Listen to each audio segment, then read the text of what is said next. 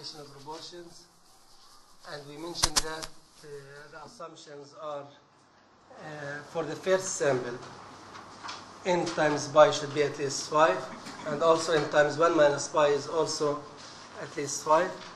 The same for the second sample, n2 times pi 2 is at least 5, as well as n times 1 minus pi 2 is also at least 5. Also, we discussed that the point estimate for the difference of pi 1 minus pi 2 is given by p1 minus p2. That means this difference is unbiased point estimate of pi 1 minus pi 2. Similarly, uh, p2 minus p1 is the point estimate of the difference pi 2 minus pi 1. Uh, next, we uh, also discussed that the bold estimate for the overall proportion is given by this equation.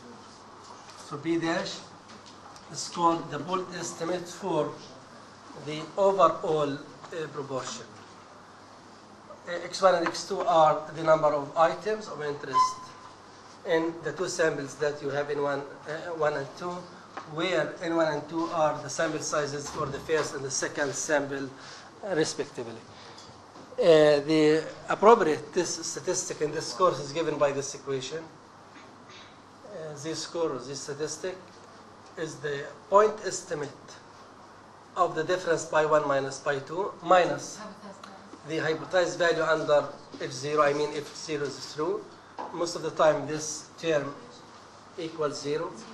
Divide by this quantity is called the standard error of the estimate, which is square root of b dash 1 minus b dash times 1 over n1 plus 1 over n2. So this is your z statistic.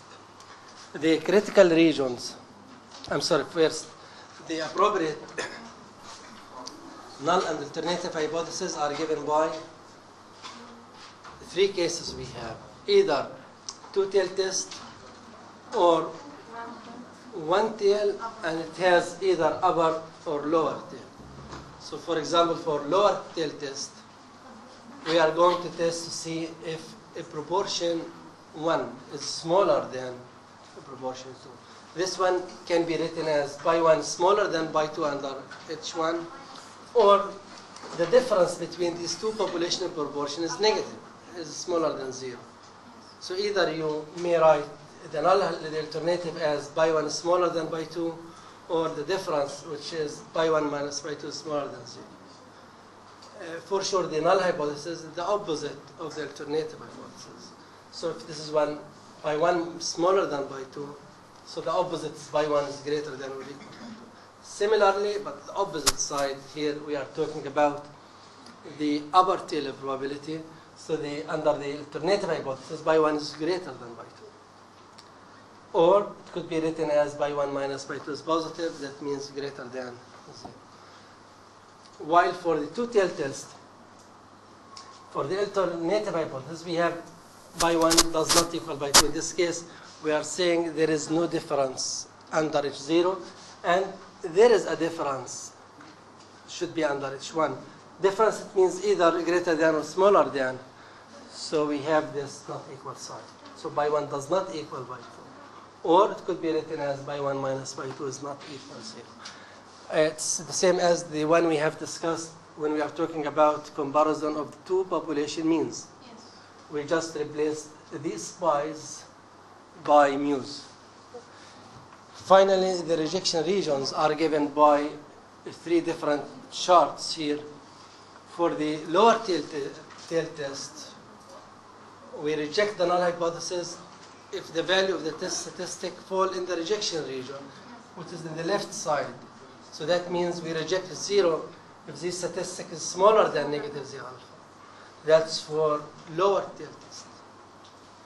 On the other hand, for upper tail test, your rejection region is the right side. So you reject the null hypothesis if this statistic is greater than z alpha.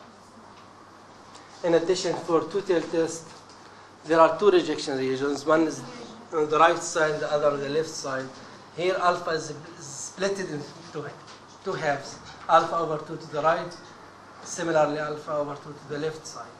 Here we reject the null hypothesis. If your z statistic falls in the rejection region here, it, that means z is smaller than negative z alpha over 2 or z is greater than z alpha over 2. Now this one, I mean the rejection regions are the same for either one sample t-test or two sample t-test, either for the population proportion or the population mean. We have the same rejection regions. Sometimes we replace z by t.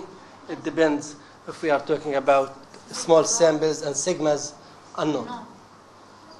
So that's the basic concepts about testing or hypothesis testing for the comparison between two population proportions. And we stopped at this point. I will give three examples, three examples for testing about two population proportions. The first one is given here. It says that is there a significant difference between the proportion of men and the proportion of women who will vote yes on proposition A? Now, in this case, we are talking about a proportion. So this problem tests for a proportion.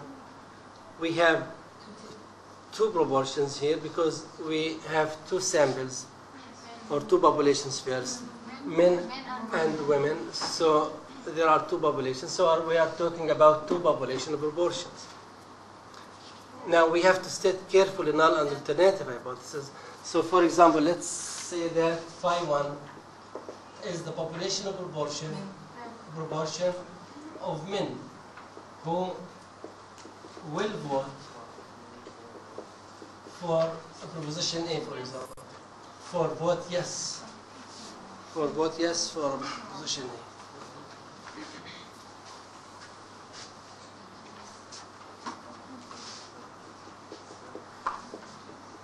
For a proposition A. And by 2 is the same but for of men, of women, sorry. So the first one for men and the other of women. Now, in a random, so in this case, we are talking about difference between two population proportions, so by one equals by two. Against your alternative hypothesis should be, since the problem talks about is there a significant difference Difference means two tails, so it should be by one does not equal by two. By one does not equal by two. So that's step one, state null and alternate hypothesis.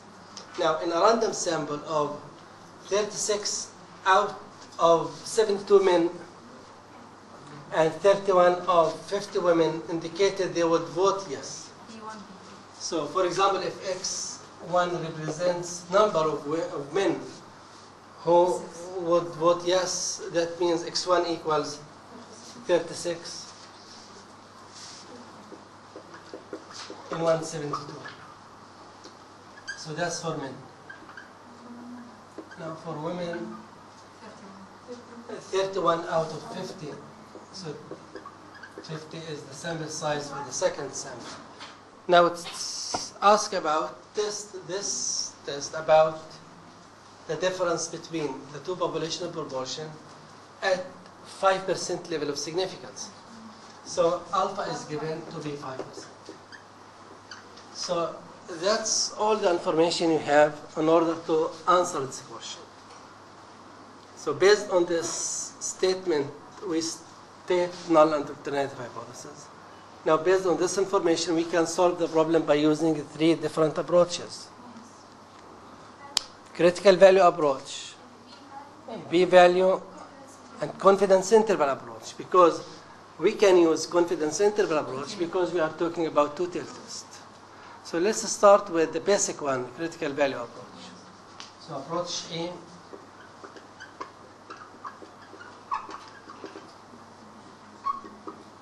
Critical value. Now, since we are talking about two-tail test, your critical value should be plus or minus z alpha over 2. And since alpha is 5%, so the critical values are Z plus or minus 0.25 which is 196 or you may use the normal the standard normal table in order to find the critical values or just if you remember that values should be better so the critical regions are above 196 or smaller than negative 196 I have to compute the z statistic. Now this statistic is given by this equation. Z stat equal b1 minus b2 minus pi 1 minus pi 2. This quantity divided by b dash 1 minus b dash multiplied by 1 over n1 plus 1 over n. Here we have to find b1, b2. So b1 equals x1 over n1. x1 is given So 36 out of 72, that means 50%. Similarly, B2 is equals x2 over into x2 31 over 50, so that's 60%. Also, we have to compute the pooled estimate of the overall proportion so B dash, sum of the two x's divided by the total sample sizes we have. x1 and x2, 36 plus 31, 72 plus 50. So that means 67 over 152, 0.549. 120. So simple calculations give B1 and B2 as well as B dash. Now plug these values on the Z-stat formula, we'll get the value that is. So first, state null and alternative hypothesis by 1 minus by 2 equals 0. That means the two populations are equal. We are going to test this one against by 1 minus by 2 is not 0, that means there is a significant difference between proportions. Now for men, we got proportion of 50%, that's for the sample proportion, and sample proportion for women who will vote yes for position A is 62%. The pooled estimate for the overall proportion uh, equals 0.549. Now based on this information, we can calculate the z statistic. Straightforward calculation, you will end with this result. So z stat negative 1.31. So we have to compute this one before either before using any of the approaches we have. But if you if we are going to use the critical value approach, we have to find z alpha over 2, which is 1.96. Now the question is, is this value fall in the rejection regions, right or left? It's clear that this value, negative 1.31, lies in the non-rejection region, so we don't reject the null hypothesis. So my decision is don't reject H0. My conclusion is there is not significant evidence of a difference in proportions who will vote yes between men and women. Even it seems to be that there is a difference between sample proportions 50 and 60 percent Still, this difference is not significant in order to see to say that there is significant difference between the proportions of men and women. So based on the critical value approach, we end with this result, which is we don't reject the null hypothesis. That means the information you have is not sufficient in order to support the alternative hypothesis. So your uh, managerial conclusion should be there is no significant difference in the proportion and proportions who will vote yes between men and women. That's for using critical value approach. Before continue, we have to discuss the confidence interval for the difference pi 1 minus pi 2. Uh, the confidence interval, as we mentioned before, can be constructed by point estimate plus or minus critical value times the standard error of the point estimate. In this uh, case, the point estimate for pi 1 minus pi 2 is b1 minus b2. So that's your point estimate. Plus or minus z alpha over 2. Now, by from the information from chapter 8, the standard error of the difference, b1 minus b2, is given by this equation.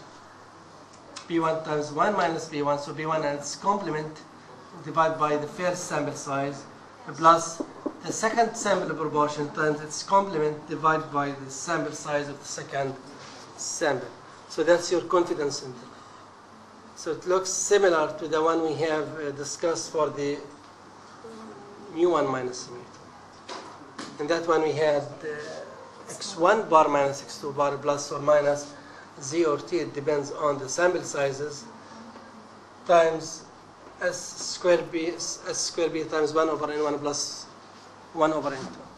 Anyway, the confidence interval for pi 1 minus pi 2 is given by uh, this equation. Now let's see how can we use the other two approaches in order to test if there is significant difference between the proportions of men and women. I'm sure you don't have this slide for computing p-value and, and confidence interval. Now, b-value approach, part B or approach B, b-value. approach. Uh-huh.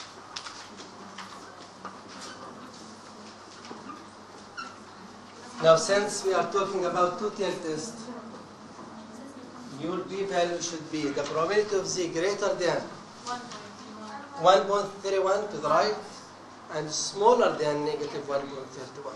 So my b value in this case equals z greater than 131 plus z smaller than negative 1.31. Since we are talking about two-tail test, so there are two rejection regions. My z statistic is 1.31, so it should be here 1.31 to the right and negative. Now, what's the probability that the z statistic will fall in the rejection regions, right or left? So we have to add b of z greater than 1.01 and b of z smaller than negative. Now the two areas to the right of 1.31 and to the left of negative 1.31 are equal because of symmetry. Yes. So just compute one and multiply that by two, you will get the b value. So two times. Now by using the concept in chapter 6, easily you can compute either this one or the other one. The other one directly from the negative z score table. The other one you should have the complement 1 minus the probability of z. It's smaller than 1.31. In either way, you will get this result. Now my p value is around 19%.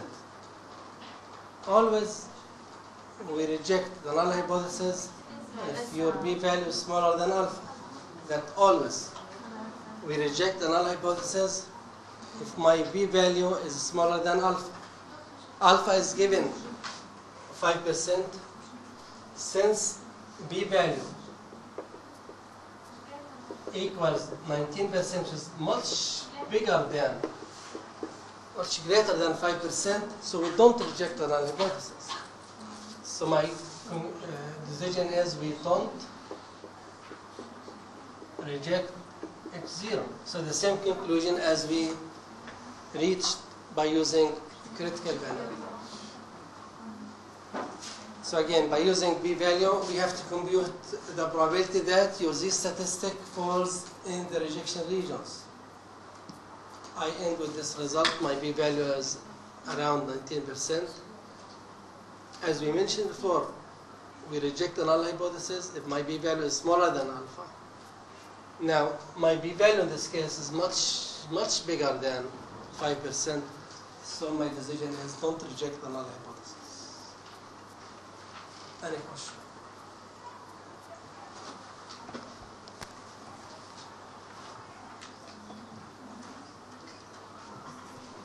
The other approach, the third one, confidence interval approach.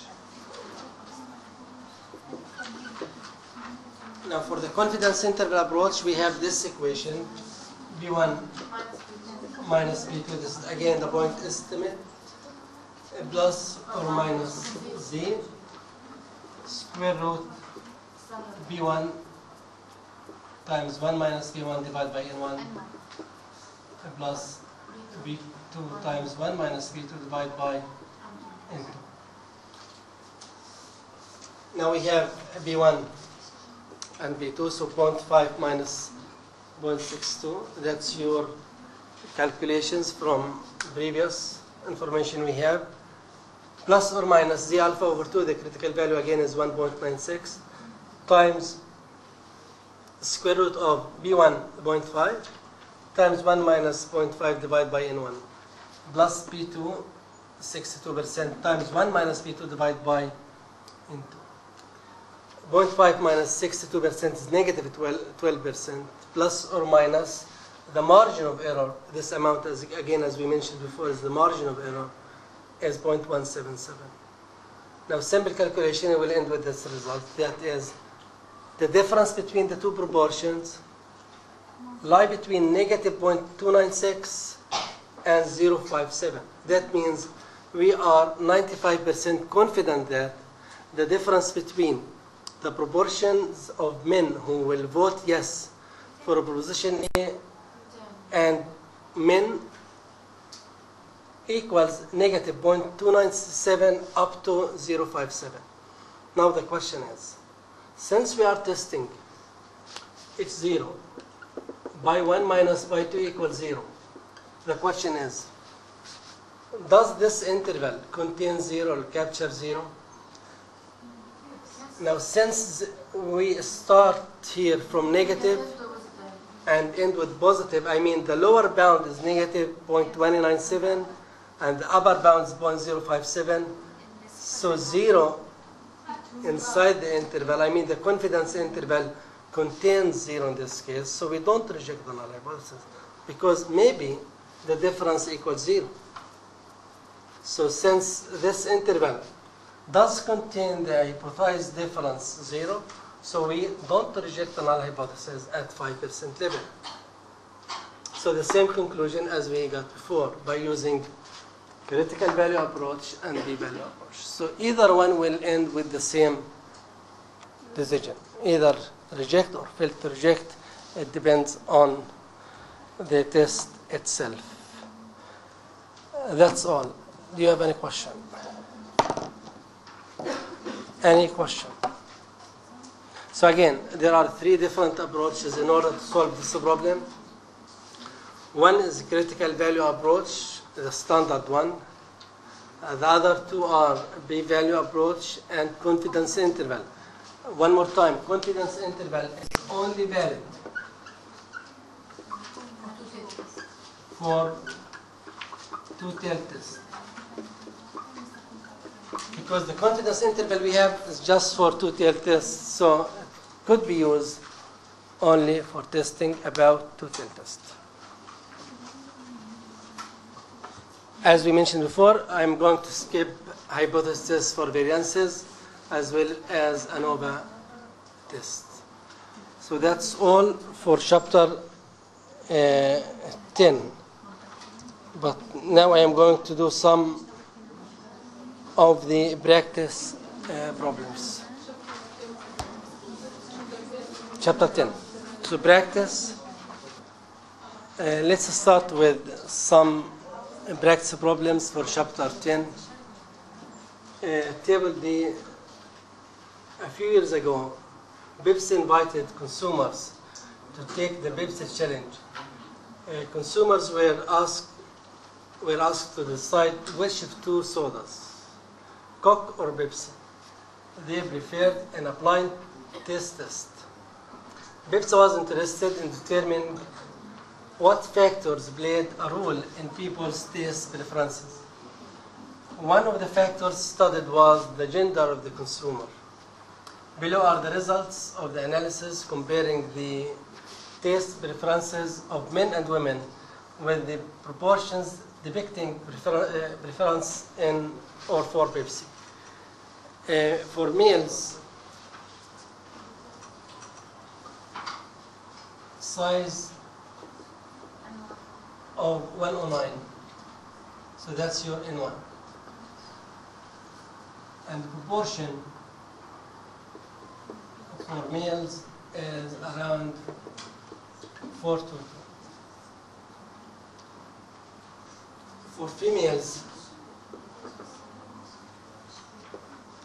N2 equals 52 and the proportion of females 25%.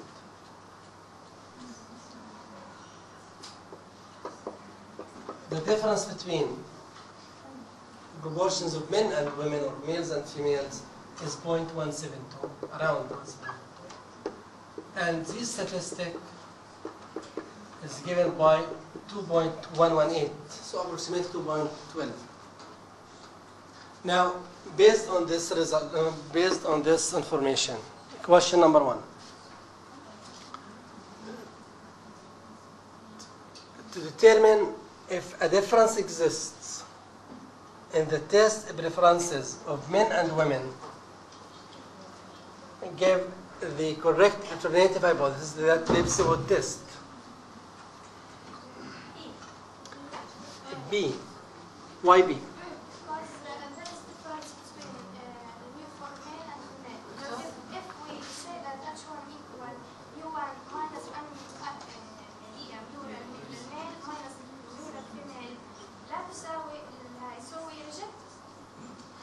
So the correct answer is B?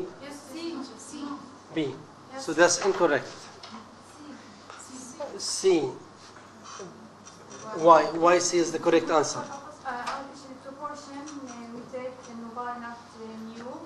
Exactly. Because why is not equal because we have difference. So since we have difference here, so it should be not equal to. And since we are talking about proportions, so you have to ignore A and B. So A and B should be ignored first. Th- Then you either choose C or D. C is the correct answer. So C is the correct answer. That's for number one. Part two. Now suppose Pepsi wanted to test to determine if males preferred Pepsi more than females. Using the test statistic given, compute the appropriate p-value for the test. Uh, let's assume that pi 1 is the population proportion for males who prefer Pepsi, and pi 2 for females who prefer Pepsi. Now he asked about, suppose the company wanted to test to determine if males prefer Pepsi more than females, using again the statistic given, which is 2.12, for example, compute the appropriate p-value. Now, uh, let's state first H0 and H8. So what should I write? H0. H1 by eh, 1 minus by 2 more than H1 by 1 minus by 2 more than 0. By 1 minus by 2 is greater than 0. So smaller. Smaller smaller. Because it says that males prefer Pepsi more than females. Buy one for males, buy two for females, so I should have buy one greater than by two or buy one minus by two is positive.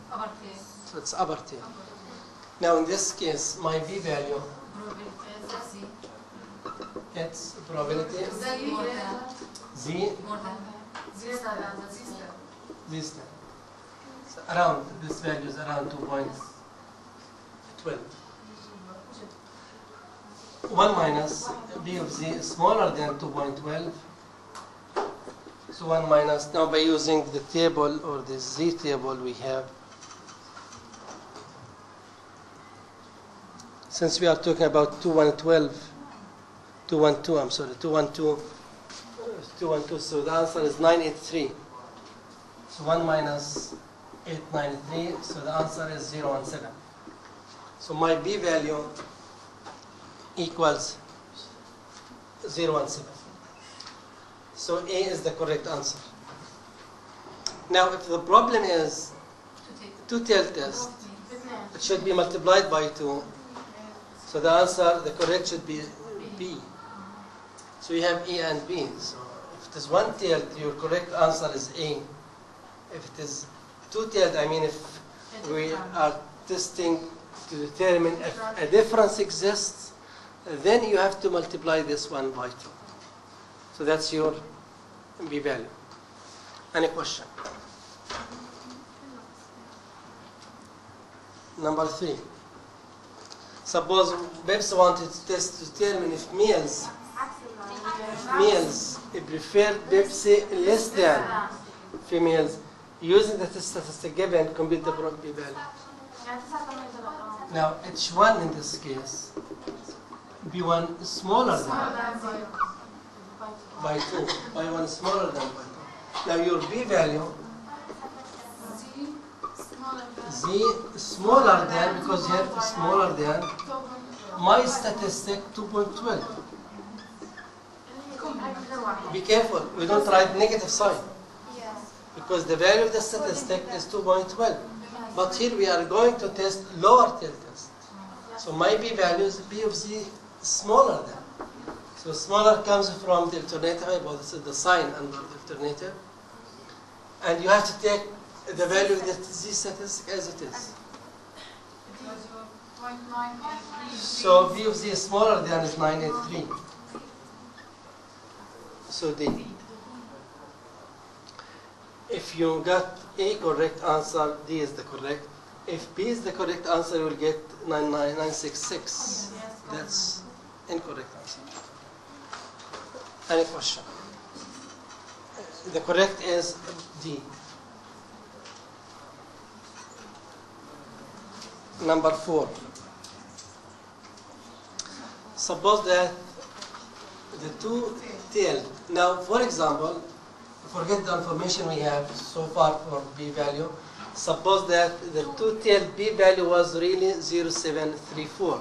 Now, suppose my b value for two tailed is 0734. That's for two tailed. This is my b value. This is my b value. Is 0734. Now we have four answers. Part A, B, C, and D. Which one is the correct?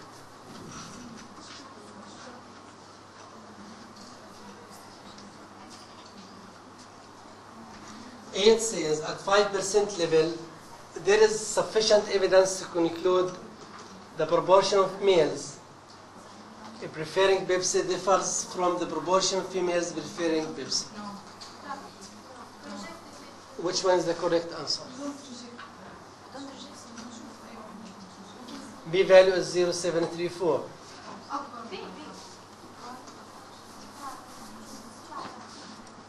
B it says at alpha equal 10%, there is sufficient evidence to indicate the proportion of males preferring Pepsi differs from the proportion of females preferring Pepsi. C. At 5%, there is sufficient evidence to indicate the proportion of males preferring Pepsi equals the proportion of females preferring Pepsi. And D. At 8% level, there is insufficient evidence to include to indicate the proportion of males preferring Pepsi differs from the proportion of females preferring Pepsi. Again, suppose that here it's two-tail test. It says two-tail test. Two-tail means by one does not equal by two. So in this case, we are testing by one equals by two against by 1 is not by 2. And your B value is 0734. Yes. So which one is the correct answer? B. B. B. B. D. D. Let's look at D. Let's look at D.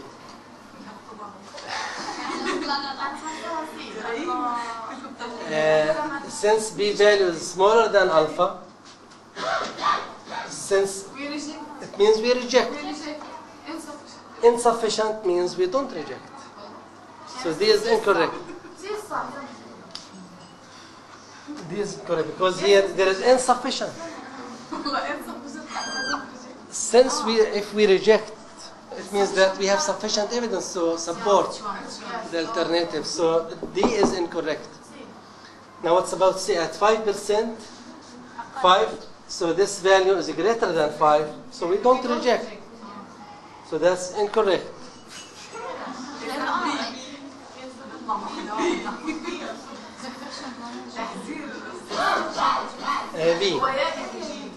At 5, at 10% now, there is sufficient evidence. Sufficient means we reject.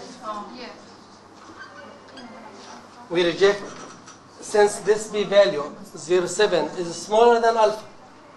7% is smaller than 10%. So we reject. That means you have to read carefully. There is sufficient evidence to include to indicate the proportion of males preferring Pepsi differs from the proportion of females. That's correct. So B is the correct statement. Now look at A. A at 5%, there is sufficient evidence? No, because this value is greater than alpha, so we don't reject for this one. Here we reject because at 10% we reject. So B is the correct answer. Makes sense? Yeah, exactly for 10%. If this value is 5%, then B is incorrect. Again, if we change this one to be 5%, still this statement is false. It should be greater than an order it should be smaller than alpha in order to reject the null hypothesis. So the, B is the correct statement. Always insufficient means you don't reject the null hypothesis. Now for D, we reject the null hypothesis at 8%. Since this value 0.7 is smaller than alpha, so we reject. So this is incorrect. Now for C, be careful. At 5%, if, this, if we change this one little bit, there is insufficient evidence. What do you think? Part C. If we change part C as at 5%, there is insufficient evidence to indicate the proportion of males preferring Pepsi equals.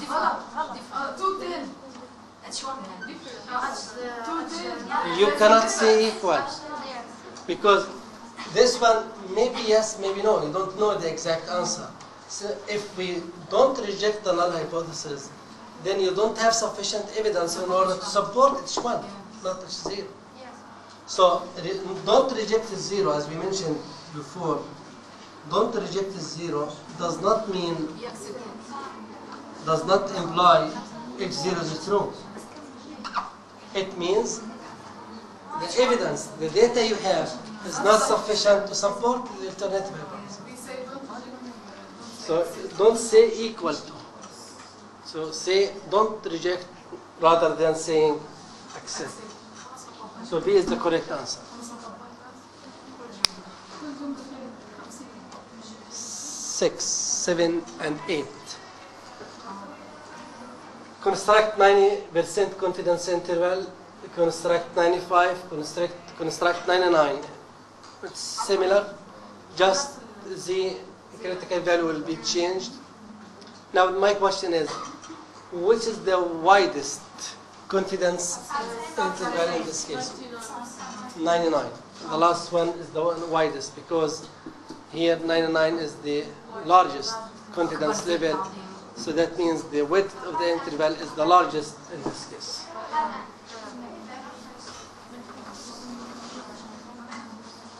For 5, 6, and 7.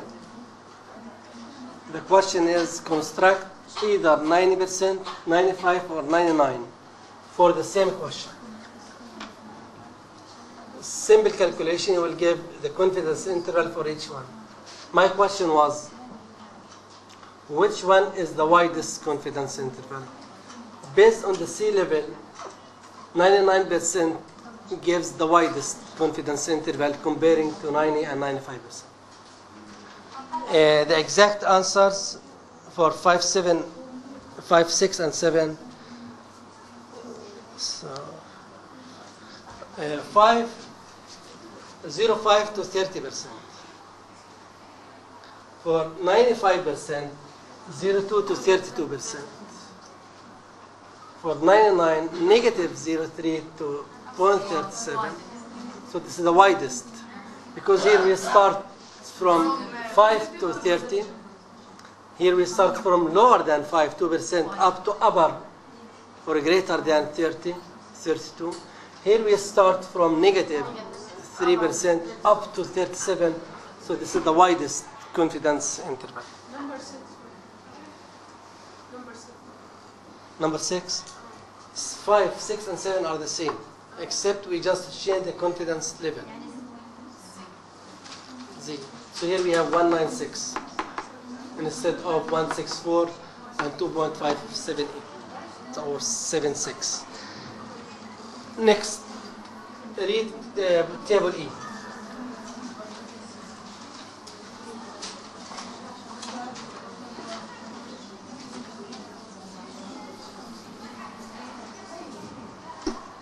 table A. Uh, corporation randomly selects 150 salespeople and finds that 66% who have never taken self-improvement course would like such a course.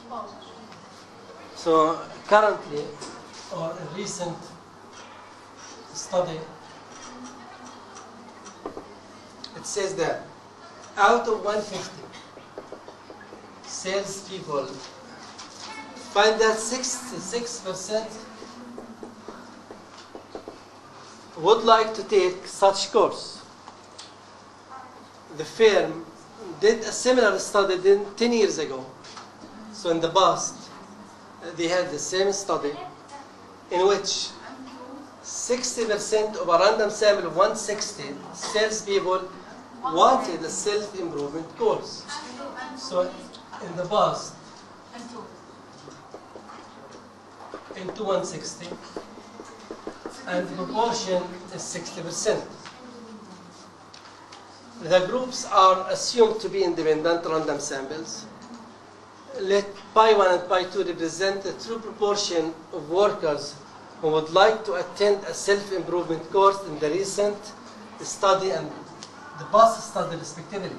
So suppose pi 1 and by 2. By 1 for recent study and by 2 for the past study. So that's the question. Now, question number 1. If the firm wanted to test whether this proportion has changed from the previous study, which represents the relevant hypothesis?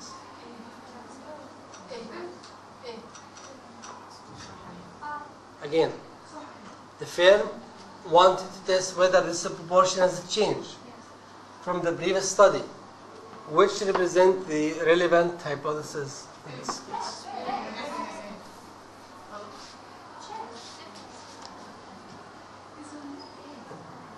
Which is the correct? A is the correct answer. Why is the correct answer? Since we are talking about the proportions, so should have by. It changed means does not equal to. So is the correct answer.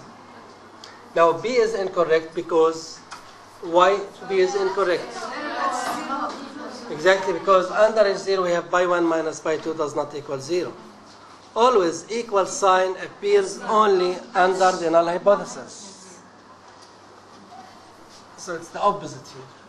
Now C and D talking about upper tail or lower tail, but here we're talking about two tail test. So A is the correct answer.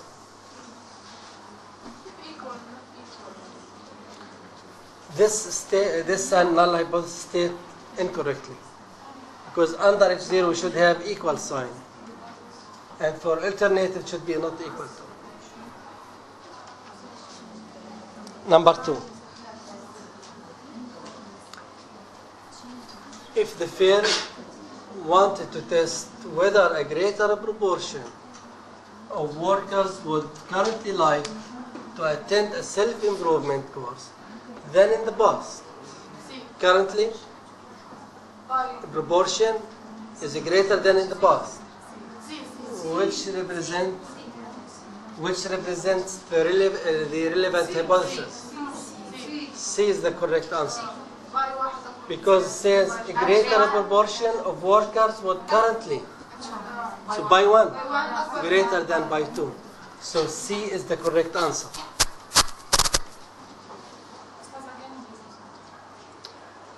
It says that the firm wanted to test whether greater proportion of workers currently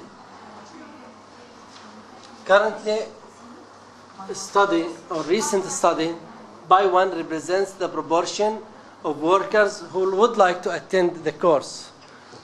So that's by one. Greater than.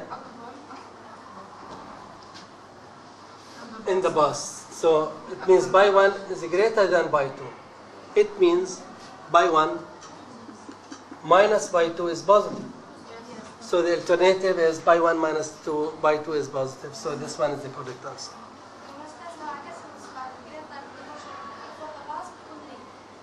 Exactly. If, if here we have what in the bust should be B, it should be the correct answer. That's two, uh, three. Any question before going to number three? B1 minus U2. Any question for number two? Three. What is the unbiased point estimate for the difference between the two population proportions? B1 Minus B2. which is so straightforward calculation gives A the correct answer. Because the point estimate in this case is B1 minus B2. B1 is 66%, B2 is 60%, so the answer is 6%. So B1 minus B2,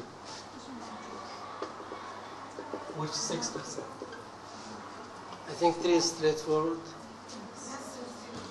Number 4, what is or are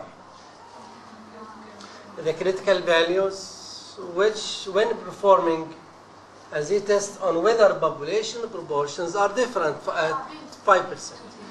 Here, yes, we are talking about two-tail test, and alpha is 5%. So you, my critical values, there are two critical values actually. Alpha over 2, and alpha is 5%. So plus or minus 196 by using the standard order table says B is the correct answer.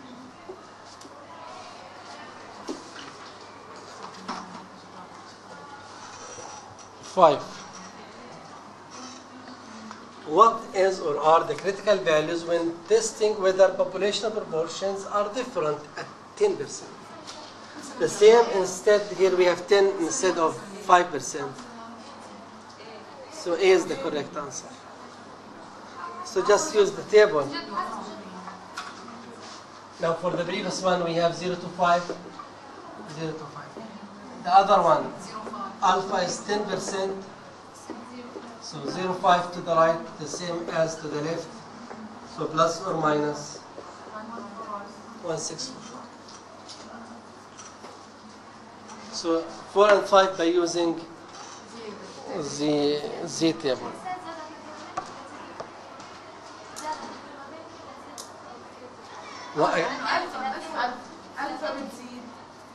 So exactly, since alpha here is 1025, so the area becomes smaller than, so it should be z greater than. So 1.96, the other one 1.645. Number six, what is or are the critical value when testing whether the current population is higher than. Higher means above.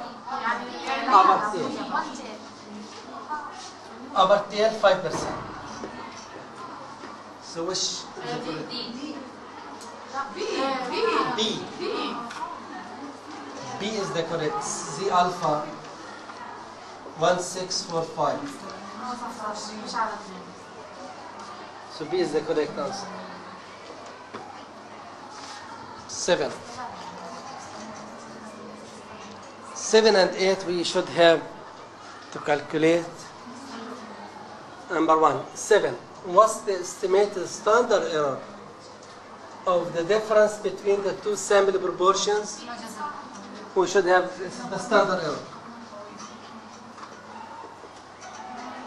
Square root b dash 1 minus b dash multiplied by 1 over n 1 plus 1 over n. 2 and we have to find b dash Yes. let's see how can we find b dash.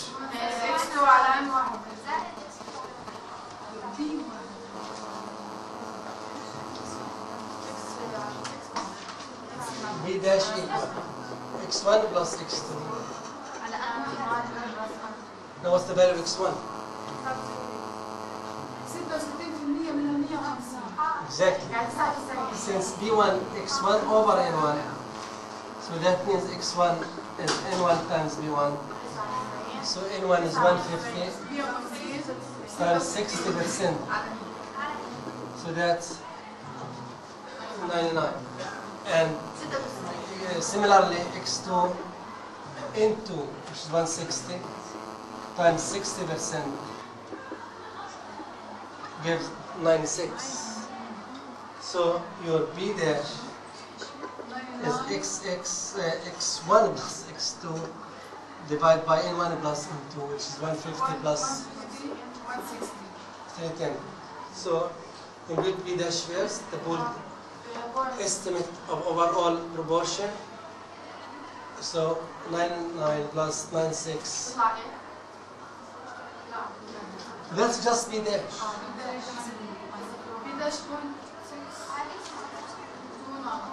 Six to nine. Six to nine. So this is not your answer. So just be dash. Now take this value and the square root of 6 to 9 times 1.629 multiplied by 1 over n1 which is 150 plus 160.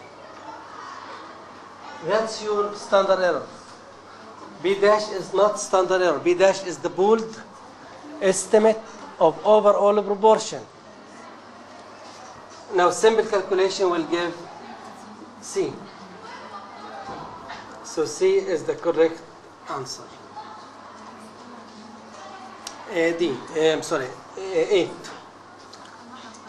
What's, what's the, again, here he asked about what's the standard error of the difference between the two proportions given by this equation. Here first we have to compute P dash by using x1 plus x2 over n1 plus n2. In this example, the x's are not given, but we have the proportions. And we know that b1 equals x1 over n1, so x1 equal n1 times b1. So I got 99. Similarly, x2 in 2 times b2 is 96. So b dash is 6 to 9. So plug this value here, you will get 0, 5, 5. 8. What's the value of the statistic to use in evaluating the alternate hypothesis that there is a difference in the two population proportions? So we have to compute this score, this test, which is B1 minus B2, which is 6% minus 0 minus 0, divide by this amount. standard 055. Now 0.6 over 0.5 around 1. 6 over 5, so the answer is 1. 0.9. So that's my Z statistic. That's number 8. So the answer is C is the correct answer. So straightforward calculations for C and D gives C correct answer for both 7 and 8. So C is the correct for each one. Now 9.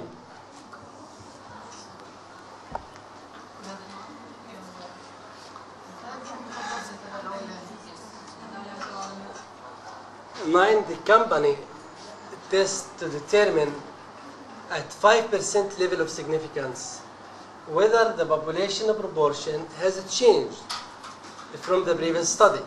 Has changed, it means we are talking about two-tail test.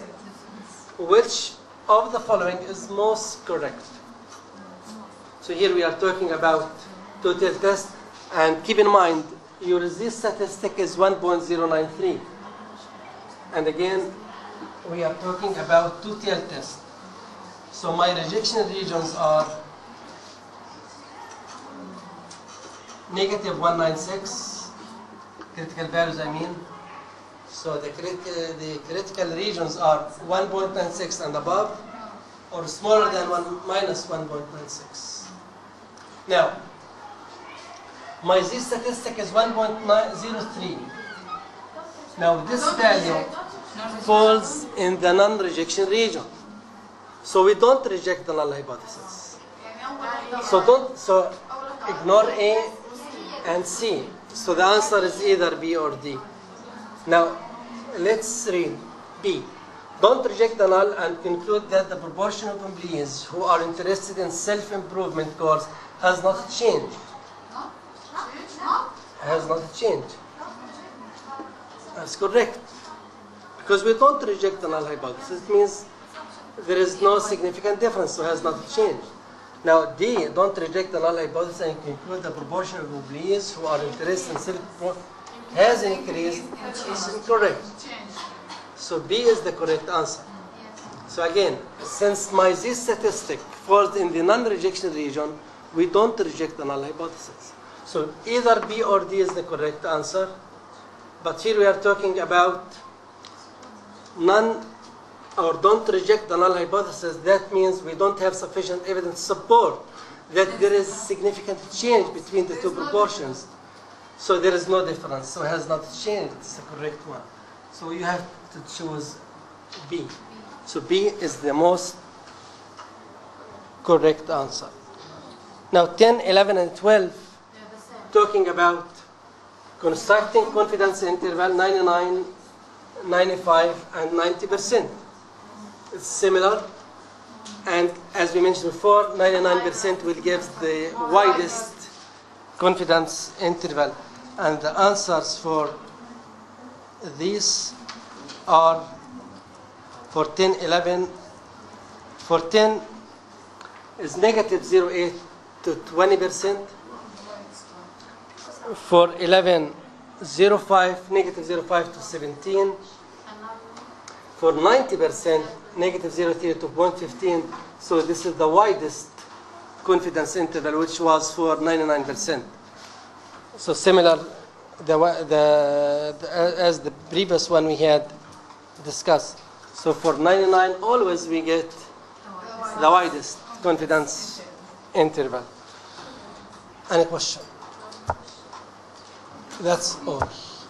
Next time, shall start chapter 12, chi-square test.